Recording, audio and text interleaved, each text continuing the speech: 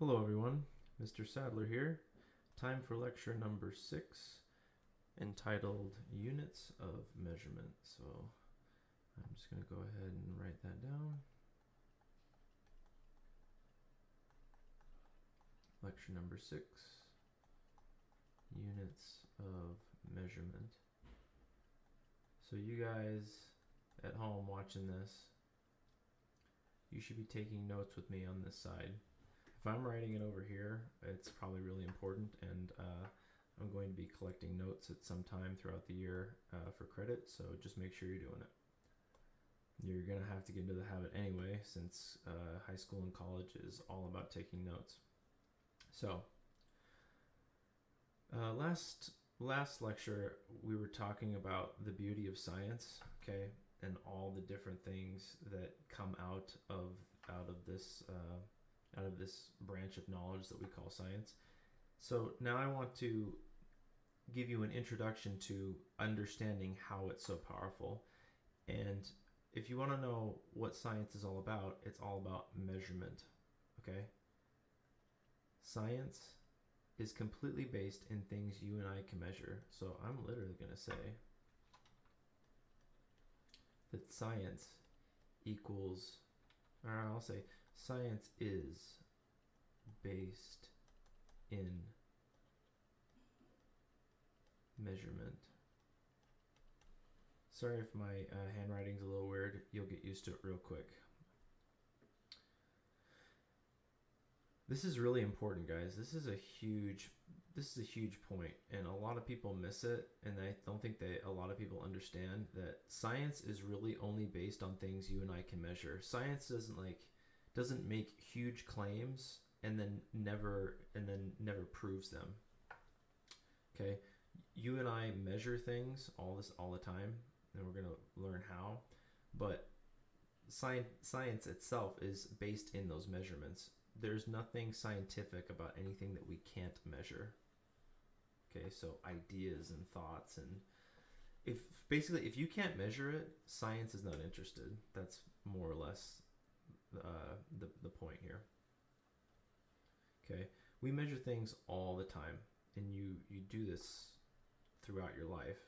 Uh, when you look at a clock, for example, you're really measuring time, right? If it's 12:10 and then five minutes pass and it's 12:15, you've just made a measurement. Five minutes is a measurement. One minute is a measurement. One second is a measurement. When you look at a ruler, you're measuring distance. When you use a ruler to to figure out how long something is or figure out what the distance is between two places you're making a measurement right? So this is important. Let's get a new color in here. Distance. What is distance? Okay. There's another people call these different things right? Length length is another one. If you if you measure the length of a rope you're really measuring the distance from the end from one end of the rope to the other. Distance is the space from one spot to another. All right so from one spot to the second spot the space in between these two things is called distance. Okay, you may have heard of distance measurements in the United States, for example, inches, feet, yards, miles. Okay, you, these are the ones you and I are familiar with. When you place something on a scale, you are measuring a mass. So I'm sure you guys have, uh, if you guys have uh, a kitchen at home, uh, you might have a scale in the kitchen. Some people like to weigh things as they're cooking. Uh, when you place uh, anything onto a scale and the scale shows shows uh, a number, you're measuring mass. Okay, it's an, again another measurement. So let's make sure we know what a ma what mass is. Mass is determined by the number, and I'm not going to write out number, I'm just going to write uh, hashtag. As you get better at notes, you'll you'll start to make shortcuts for yourself. For example, writing out number it takes me a lot longer to do than like that, right? And they both mean the same thing. Hashtag means number. But anyway, mass is determined by the number and type of atoms inside matter. Okay, the number. If you have a thousand atoms, it'll it'll. Uh, if you have a thousand atoms of hydrogen, it's not going to be as heavy, or it will be less heavy than a billion atoms of hydrogen. Also, the type of atoms inside matter uh, inside matter uh, are significant. Uh, for example, uh, hydrogen is lighter than uh, iron, for example. So, an iron bar would weigh more than a balloon of hydrogen. But just know that mass is determined by the number and type of atoms inside matter. We're going to explore mass a little bit more. We're just getting a definition right now. Okay, so I want you to think of a number that doesn't have a unit. Okay, just think of the number three. What does that even mean? Three. You know, think of someone like looking looking out the window, right? They're looking out the window and you're standing over here doing something, right? Looking in this direction. And they go, "Whoa, there's 3 out there." And then you turn you turn to the guy and you say, "3 what?" Right? You would automatically do that cuz 3 means nothing. Uh, think about this. If someone just walked up to you and said 3, right? Your natural response again is going to be three what?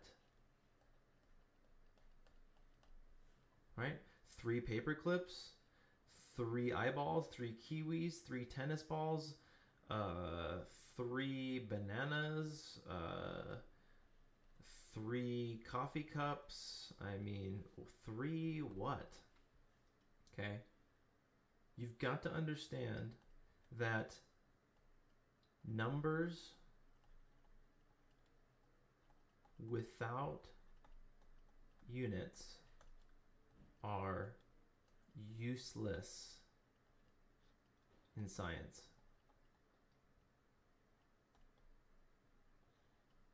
Okay? Don't go don't go telling your math teacher that oh we need a unit for this number. In mathematics it's more abstract. You don't necessarily need units in math because you're just doing abstract algebra and stuff like that.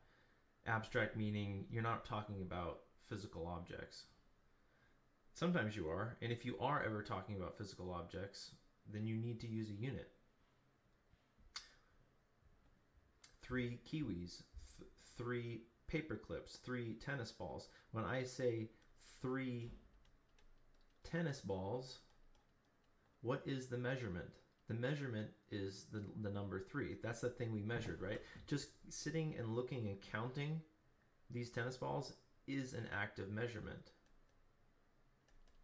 The tennis balls, right, three tennis balls, is the unit. Three tennis balls. And you know what's interesting is if you set it the other way around, if you just set a unit, then it's also useless, right? If someone had a bucket of tennis balls and you're across the room and they say and you go hey how many tennis balls are in there? And they look at you and go tennis balls.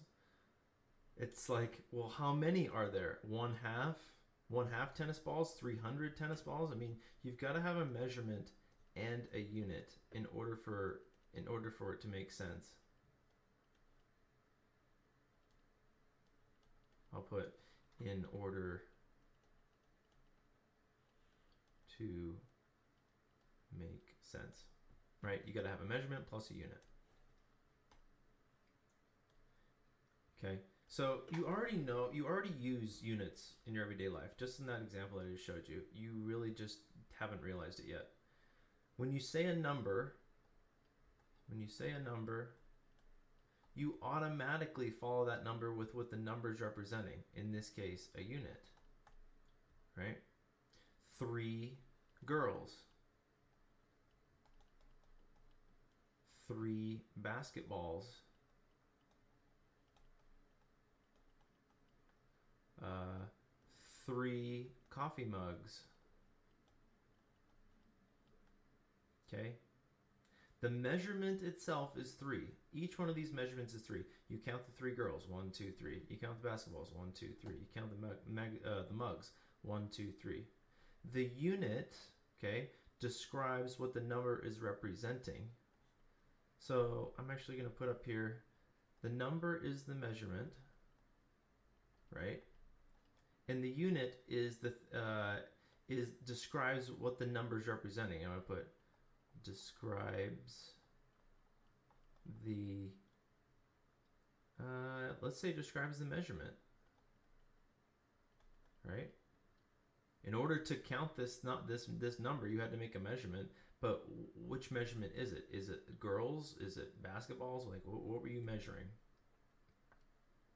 okay so the things that we're going to measure in seventh grade are these these five things and you're going to need to know them so I'm going to say measurements in seventh grade. Well, and eighth grade, actually.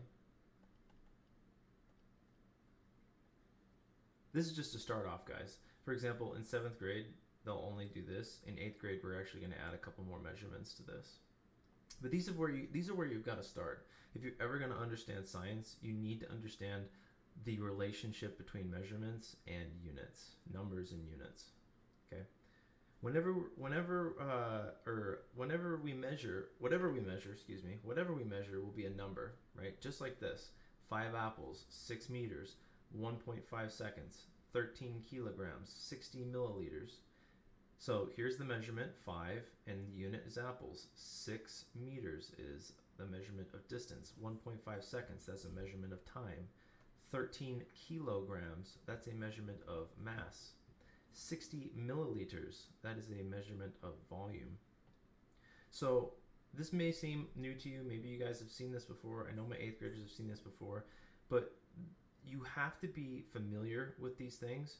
For example, when I say, what kind of measurement is 1.5 seconds? You have to immediately know that it's time, right? You can't think seconds and mix it up with distance. Okay, so that's why we're gonna spend. That's why we're gonna spend some time understanding these measurements in these units because this is the basis of science, guys. So stick with me. Let's get your basis in and then we can explore the really cool stuff. So we've got distance, we've got volume, we've got mass, we've got time, and we've got temperature.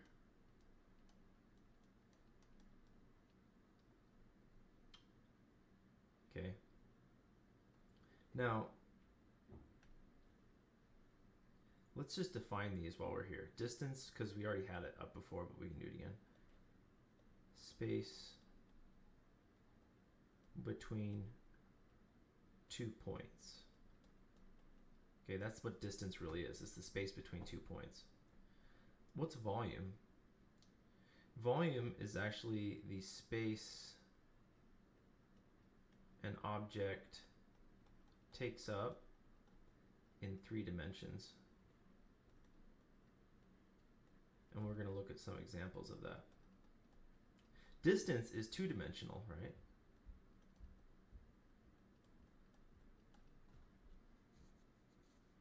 Remember, well, I guess it's technically one dimension because it's it's going from here to here, but we don't live in a one-dimensional world, and it's very difficult to imagine one dimension. But we'll just call it two dimensions three dimensions is this. Let me go back here. Okay, so here's here's one dimension, here's the second dimension, here's the third dimension. Okay, so a cube, for example, is a three-dimensional object. I would say that's 3D. A flat sheet of paper is two-dimensional. I guess we can call this one. A line is one dimensional. So I'll let's just call this one dimension. Space between two points, distance is one dimensional. Let's not confuse you. Two dimensional would be things like area, if you've ca- calculated area before. Three dimensional is volume. So volume is the space an object takes up in three dimensions. Just gonna check my time. Okay. So mass, what's mass? Mass is uh, we defined it last or last slide, but we're just gonna do it one more time. Uh, mass is dependent on number of atoms and types of atoms. We're going to spend more time on mass because you guys got to know what atoms are and you got to know what types of atoms are. Time. Now, time's a weird one. Time is very difficult. Time is a very difficult thing to measure. Uh, and we're just going to uh, we're going to define it loosely. Uh, time is a dimension that allows things to occur. Okay, it's it's actually a dimension. So you know how we have three dimensions of space? Well, there's another dimension called time, which all of these dimensions move through. Okay, imagine if we didn't have time, things would just be frozen and no one would ever move, and it would be pretty boring. Time is a deep one. T- time is very difficult to understand, actually. Uh, temperature, temperature, temperature is a measurement of molecular motion. Measure. Oh, I, I missed an E in there. That's going to bother me. Measurement of molecular motion. You're probably sitting here going, Mr. Sadler, what the heck is molecular motion? You're just going to have to wait because we're going to all explore, both 7th and 8th grade, both explore temperature. So we'll look into this later. So just write it down, trust me, and we'll explore it later. So I hope I've gotten this across to you that a number is completely useless without a without a unit. It just doesn't mean anything. So, for example, on your exams and your um, your homeworks and stuff like that, when I give you a problem, right, number one, da, da, da, and then at the end I say, what, for example, what is the uh, distance? Right, what's the distance between these two objects, or how far did the guy run? Something like that. If you just put like a number, like three, and then circle it, it's wrong if you put three meters, it'll probably be right. If that's if the meters are the right unit, that'll be right. Because why? Because you if in science you both have to have a measurement and a unit. Okay? I never want to see just a number ever because a number is completely useless without a unit in science. You will always use units when making measurements, okay? And I hope I've made this point pretty clear. So, uh, in that way, when we make measurements, all the numbers we report will have meaning. Okay.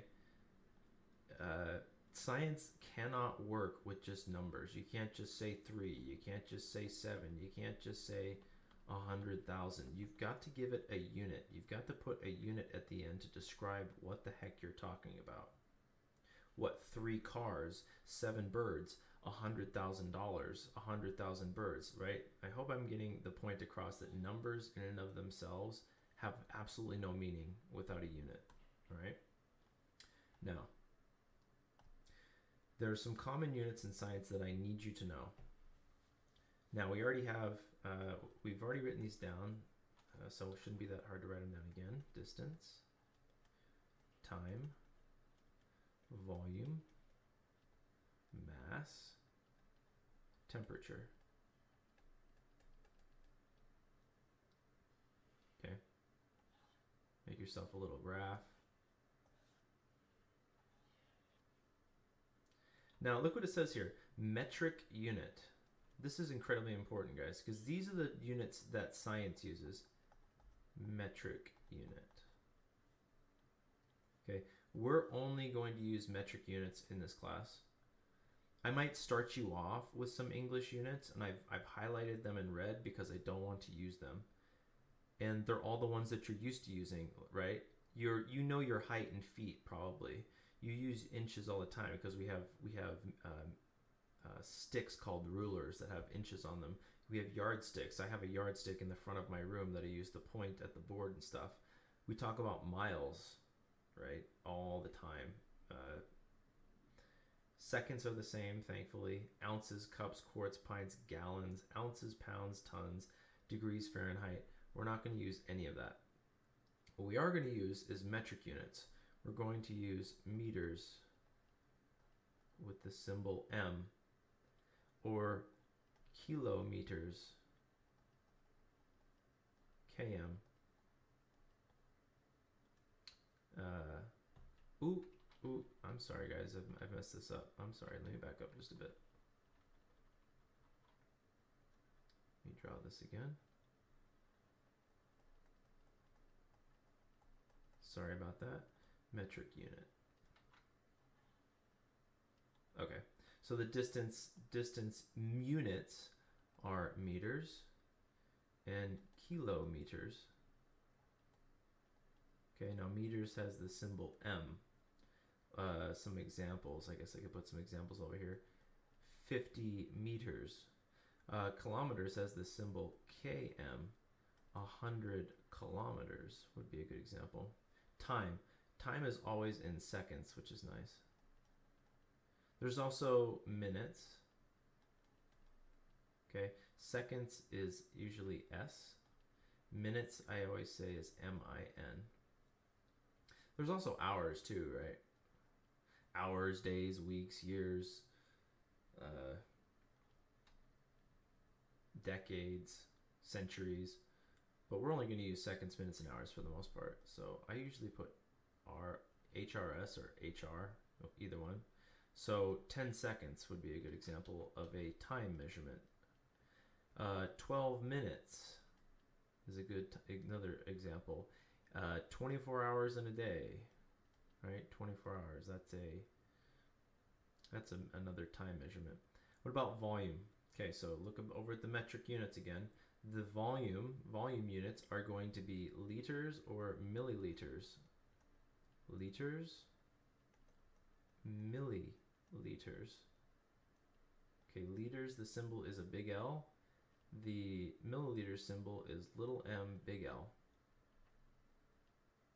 Okay so 50 liters or how about this one 3.6 liters per gallon right how about a hundred milliliters? Or let's do one better, a thousand milliliters, which is one liter. I, I know these guys might be this this might be new to you guys, but it, we're gonna use it all the time. You'll get used to it. Mass mass is always given as grams. It's also given as kilograms. You may see that you may have seen that we had kilometers as well. So what's up with this kilo here? Okay, that's a prefix for a thousand. So let's uh, let's tell you that grams is usually in G, kilograms is usually in kg. A thousand grams is a is a mass measurement, right?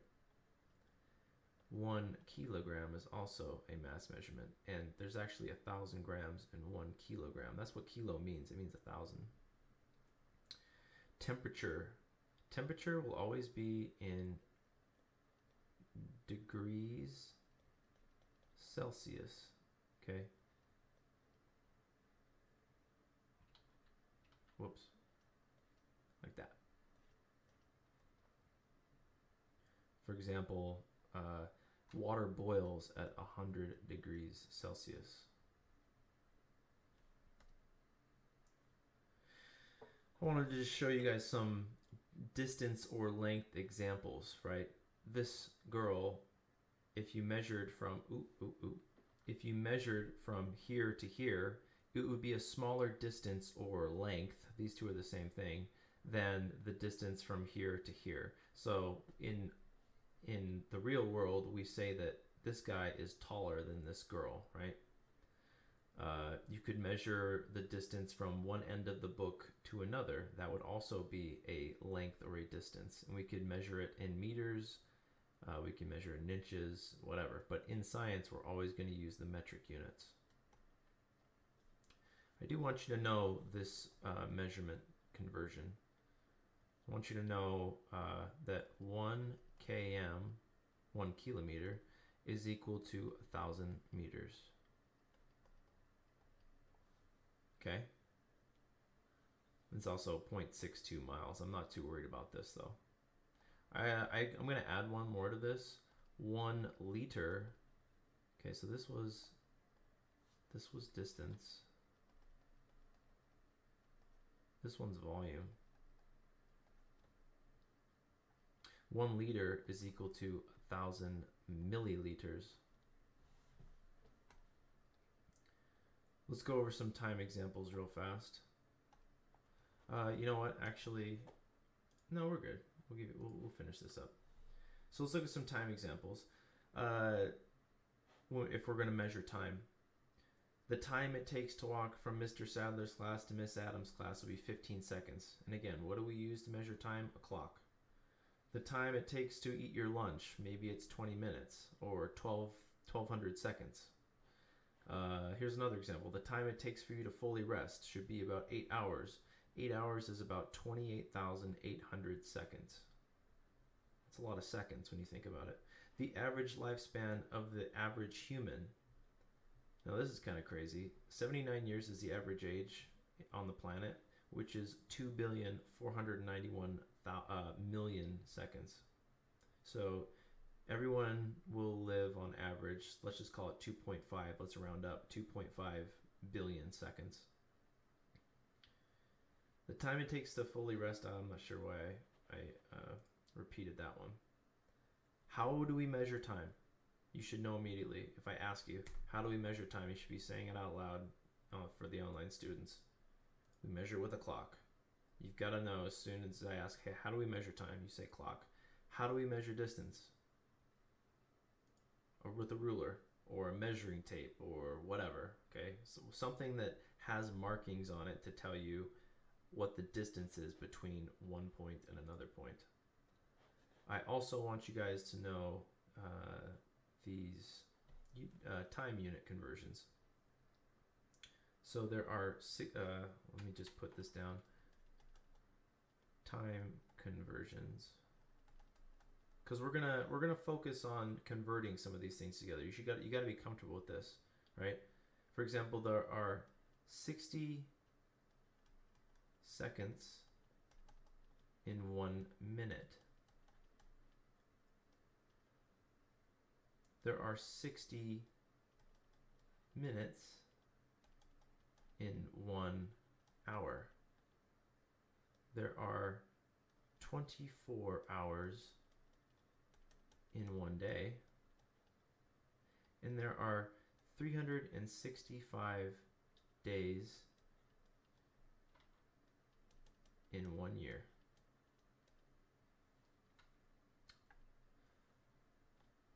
Okay, so this is nice, right? This is a good way to uh, say it, right, in English. 60 seconds in one minute, 60 minutes in one hour. But we don't do this in science and mathematics. We use ratios. What is a ratio? It's one number over another number.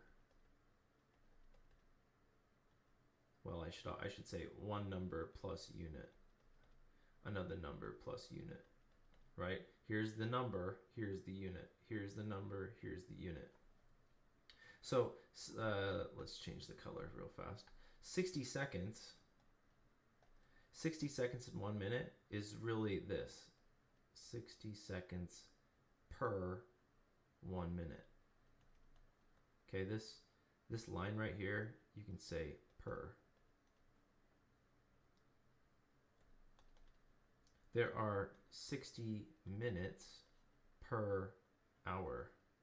You could put one hour if you wanted. There are 24 hours per day. There are 365 days per year. Okay, so I want you guys to get used to using these things we call ratios per something per something. We're going to use them all the time, especially especially in science. You've got to get used to this. Uh, the reason the reason for that is we can use them to uh, uh, to to calculate things. So you have to be able to get used to and get comfortable using ratios, and we're going to be doing that all week. Okay, that's all I've got for you guys. I'll see you uh, tomorrow. Okay, bye bye.